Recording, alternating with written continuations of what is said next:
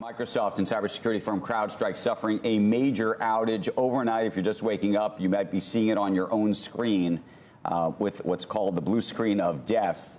Uh, hopefully, it's getting updated as we speak, but it's leaving many businesses unable to access their computer systems, including, by the way, some of ours here at NBC.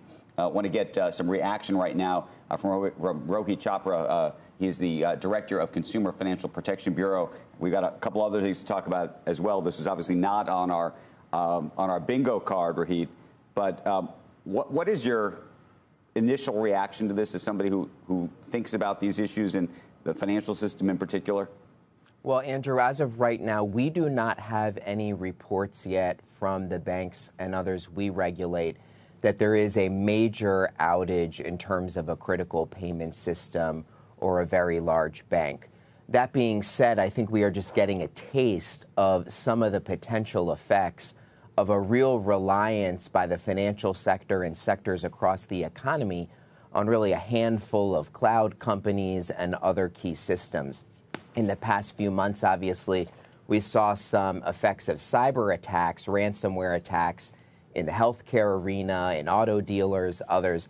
This is the type of situation that can really create issues across the economy. I'm pretty hopeful that what we will see today is inconvenience more than chaos. But of course, um, we're just getting a taste of it. So, you know, Andrew, two days ago, um, the Treasury, myself, others, we announced some actions related to resilience of the financial system and dependence on the cloud. There are just a handful of big cloud companies where so much of the economy is now resting on. And right. so we're going to really need to take a hard look at this. But my priority today is making sure that consumers can access money in their bank accounts, that payments can occur. And so we're going to be watching it minute by minute and have been working on it right. all morning. Just speak to that larger issue, though, because I think a lot of people do wake up on a morning like this and say to themselves, do we need more competition?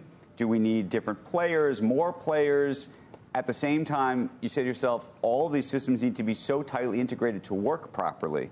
Um, and in many ways, you'd almost want them to be singular as well, right? It's, it's sometimes these little bottlenecks from third party players that, that link in, like CrowdStrike. And so, how do you think about that? Yeah, I think sometimes what we fail to appreciate is that certain parts of the tech stack are as critical to our infrastructure of our economy than the energy grid and transportation.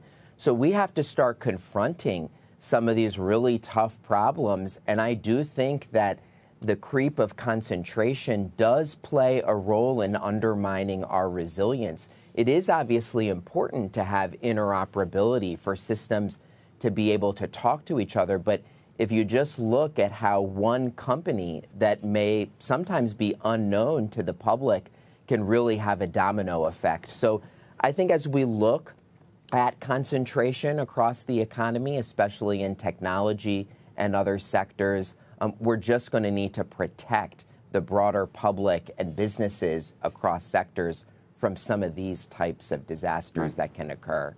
Rohit, meantime, while, while we have you here, uh, and it was really our intention to talk about it, uh, you have put together a proposal around uh, paycheck advance fees, which I know you uh, believe are are, are way out of line, I think, with what they should be. Um, what are you doing in this in, in this regard, and, and, maybe you can explain it to the to, to the audience? Well, you know, during the pandemic, we saw a big uptick in companies working with employers to help um, their employees get paid more quickly. So instead of paying them more frequently, they would work with a fintech or other company and so what we are, we took a hard look at this entire industry, and our analysis showed that some of these arrangements lead to very, very high cost lending exceeding 100% APR.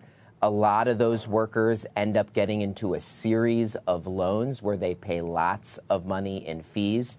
So I think we wanted to make sure that the employees and the workers are able to really clearly compare their options with credit cards and other types of loans, and that we don't have a race to the bottom. But at the really, I, I want to make sure that big employers don't have a big financial incentive to continue to delay payment to their employees if they're also getting in the business of lending to their workers. Right.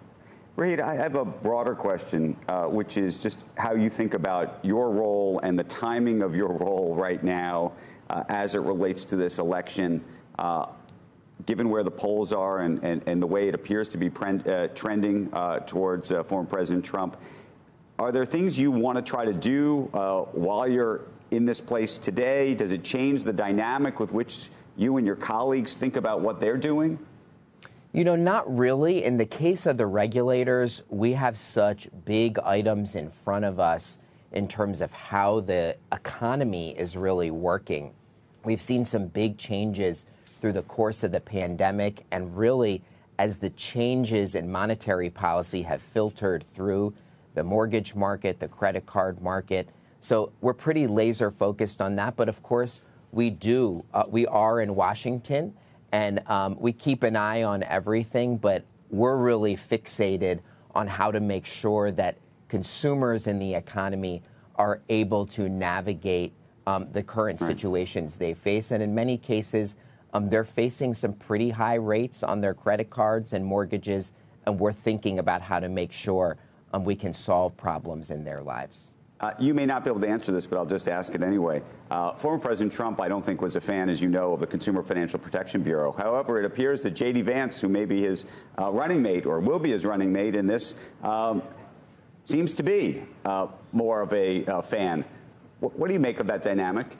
Well, I always think that the work that agencies like the CFPB do um, maybe in Washington they food fight, but in America, people realize that there needs to be some sort of watchdog to really look after and protect not just households, but also the businesses that are playing fairly. I think we've recovered tens of billions of dollars from fraudsters, bad actors, and honestly, that sometimes feels like a Washington debate rather than one that is a real issue. So I know that the markets have benefited a lot from the work of the CFPB, the mortgage market especially. So we just chug along, Andrew.